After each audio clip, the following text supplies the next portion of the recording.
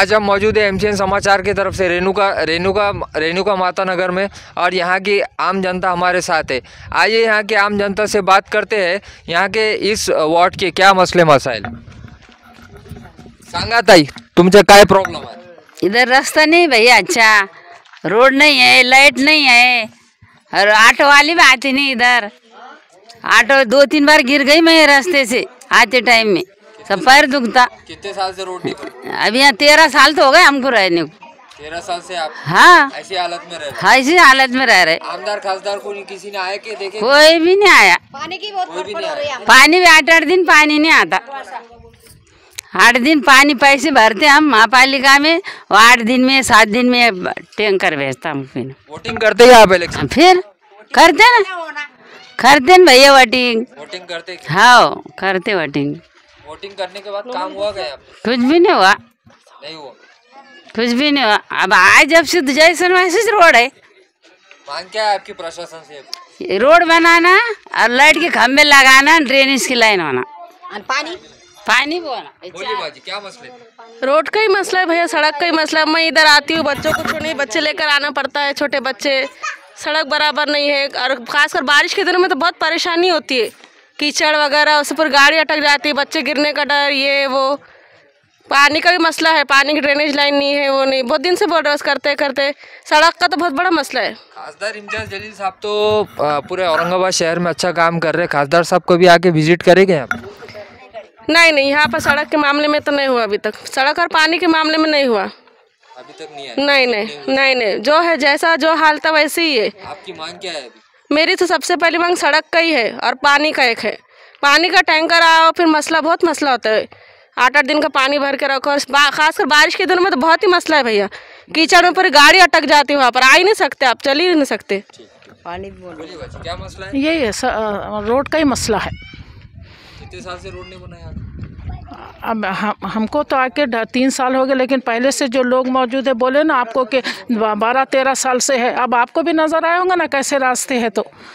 बारिश में बारिश में बहुत परेशानी होती गिरते पड़ते। प्रशासन प्रशासन की तरफ़ से कोई आया क्या? नहीं आया। कोई भी नहीं। नहीं आया। आपकी मांग क्या है? यही है रोड की है ड्रेनेज की है। पाइपलाइन तो पड़ गए लेकिन अब पीने का पानी कब आता वो नहीं मालूम। हम आमची हीच मांग आहे रस्ता आणि डेनिस लेन आणि पाण्याची सुविधा करावं म्हणून बस. आणि लाइट लाईटचं तर खूपच प्रॉब्लेम आहे आमच्याकडं. म्हणून रोडला लाईटिंग लावावं. बस. तेरा वर्ष व्हायले म्हणून आतापर्यंत काहीच नाही म्हणून हीच माग आहे आमची. सांगा तुम्ही. खासदार इम्तियाज जलील साहेब अ, कधी आले होते का? एकदा येऊन गेले रोडची पाणी करून गेले पण काही केलं नाही. एकदा येऊन गेले. एकदा येऊन गेले. हो. किती टाइम झाले त्याला? त्याला आता एक महिना होऊन गेला. हं. हो. नाही दोन तुमची मांग काय आहे. हा, रोड झाला पाहिजे पाणी पाहिजे ड्रेनेज लाईन रोडवर लाईटिंग हाँ सर. अस्सलाम वालेकुम रहमतुल्लाहि यहाँ के रहने वालों को पानी ड्रेनेज और रोड की बहुत काफ़ी जो तो परेशानी है दिक्कत है। रोज़ बरोज़ जो है तो आने यानी रोड के ऊपर जो तो लाइटिंग भी नहीं है ड्रेनेज भी नहीं है और रोड बहुत ख़राब है। बारिश के अंदर जो है तो पैदल चलना भी मुश्किल और गाड़ियाँ भी जो तो सीधे तरीके से जो नहीं चल पाती। अच्छा हमने सुना है अभी बीच में यहाँ पे खासदार इम्तियाज़ जलील साहब आके गए थे और विज़िट करके गए थे। तो उसके आपका क्या कहना है? कोई इतला नहीं है मुझे आने की वो आए या नहीं आए कुछ मालूम नहीं है। काय काय प्रॉब्लेम हाच आहे की इथं लाईटाचा प्रॉब्लेम आहे. खास मेन म्हणजे आम्हाला रोडचा जास्त प्रॉब्लेम आहे. आणि पाणी समजा महापालिकेचं आठ दिवसाला येतं एक वेळेस. बाकी हे रातची कुठं लाइट लागत आहे कुठं लागत नाही. रो गल्लीमध्ये बी. मांग काय आहे आता प्रश्न? मग काय आमचं म्हणणं याचे की रोड करा सरकारनं. पाणी पिण्याच्या पाण्याची लाईन लाईन जोडून द्यावं नळ इकडं त्याच्यानंतर ड्रेनेजच्या लाईन टाकावा. हीच मागणी आहे आमची. मैडम एक सवाल है आपसे।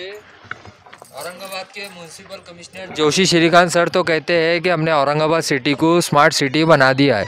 औरंगाबाद सिटी को स्मार्ट सिटी का दर्जा भी दिया गया है। तो आपको क्या लगता है कि औरंगाबाद सिटी स्मार्ट सिटी है क्या?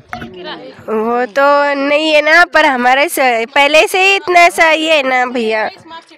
हाँ ना, फिर वही तो मेन बात है, आप तो रास्ता और लेट और पानी तो पहले से ही नहीं यहाँ पर। आठ आठ, पंद्रह पंद्रह दिन भी पानी नहीं आता हमको। और घड़ी घड़ी रास्ता खराब होने के कारण से तो बिल्कुल ही नहीं आता पानी हमको। वही मांग है और वो रास्ता अनुभूज बस बाकी का कुछ नहीं। पैसे भर के भी नहीं, रोड का पैसे भर के भी पानी नहीं आता हमको जल्दी से। मेरा नाम किशोर है। मैं Renuka Mata Nagar, new Parsinghpura west side of Bibi ka Maqbara वहाँ पे रहने का रहता हूँ। मेरे यहाँ पे तीन चीज़ों का मेन मसला है। एक तो रोड दूसरा पानी और तीसरा ड्रेनेज हम, मैं जब से मुझे समझ आती है, मैं नौ सालों से इस एरिया में रहता हूँ। नौ सालों से यहाँ पे इन चीज़ों का तीनों चीज़ों का बहुत बड़ा मसला है। आप खासदार साहब के पास कितनी बार जाते हैं? खासदार साहब से जब से मेरी मैं मैं जब इलेवेंथ में था तब से मुझे लगता है हम तीन बार हमारे एरिया के लोग मेरे पिताजी और मेरे आजू बाजू के जो भी रिश्तेदार है वो सब जाके आ चुके हैं। अभी नए लोग यहाँ पे बस रहे हैं नए लोगों की यहाँ पे इन्वेस्टमेंट्स हो रही है अच्छे अच्छे बड़े बड़े प्लॉट्स ले रहे हैं। लेकिन स्टिल यहाँ पे कुछ डेवलपमेंट नहीं है। खासदार साहब रहो आमदार साहब रहो नगर सेवक रहो कोई यहाँ पे आता नहीं है क्योंकि यहाँ पे लोगों की वसात कम है। वसात कम भी होने के कारण भी 500 लोगों प्लस यहाँ पे वोटिंग है। यहाँ पे लोग रहते हैं बच्चे यहाँ पे स्कूल पे जाते हैं लोग यहाँ पे काम करते हैं सब यहाँ पे इन्वेस्टमेंट्स आ रही है बड़े बड़े प्लॉटिंग हो रही है लेकिन यहाँ पे डेवलपमेंट नाम पे ज़ीरो चीज़ है। वोटिंग करते हो वोटिंग मैं करता हूँ। मैं खुद वोट, मैं अभी पिछले साल से वोटर हूँ। मुझे वोटिंग करने का चांस मिला है, मैंने वोटिंग किया है, बट यहाँ पे मुझे वोट करने से ज़्यादा इन लोगों के यहाँ पे मुझे कुछ मतलब भरोसा नहीं है इन लोगों पे। वोटिंग करके भी इन लोग मुझे, यहाँ पे एरिया में मुझे कभी कोई दिखा नहीं, जिनको मैंने वोट किया है। की जनता आपने अभी बताया खासदार साहब के ऑफ़िस पे दो से तीन बार जाके। जी। खासदार साहब ने आके यहाँ पे काम करवाया है। जी नहीं कोई खासदार तरफ़ के खासदार साहब या खासदार साहब के तरफ़ से कोई उनकी टीम या कोई उनका एग्जीक्यूटिव यहाँ पे कोई कभी नहीं आया है। यहाँ पे रोड है रोड के मसले है बारिश के दिनों में। मेरे पास वीडियो क्लिप्स है मैं वो आपके साथ शेयर करता हूँ बच्चे साइड से जा रहे हैं और उस पानी में सांप घूम रहे हैं। मेरे पास वो वीडियोज़ है। यहाँ पे पानी आते हैं टैंकर आते हैं टैंकर माफिया उनके खुद के हिसाब से टैंकर चलाते हैं। अगर पैसे अगर उनको पानी एक्स्ट्रा चाहिए तो वो पानी बेचते भी है।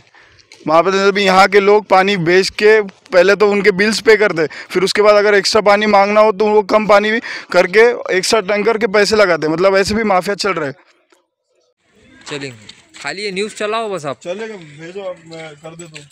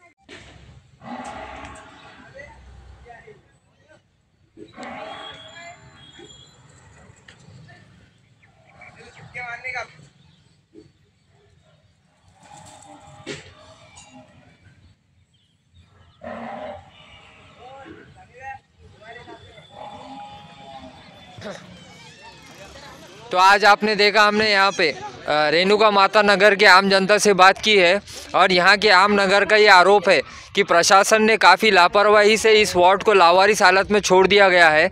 ना ही यहाँ पे पीने का पानी है, ना ही यहाँ पे ड्रेनेज लाइन है और ना ही यहाँ पे स्ट्रीट लाइट्स है। और यहाँ के आम जनता की इतनी मांग है, जल्द से जल्द इन्हें इस मूलभूत सुविधाओं से उपलब्ध कराया जाए। बस आज के लिए इतना ही। आप देखते रहिए एमसीएन समाचार। खान राफी मोहम्मद के साथ।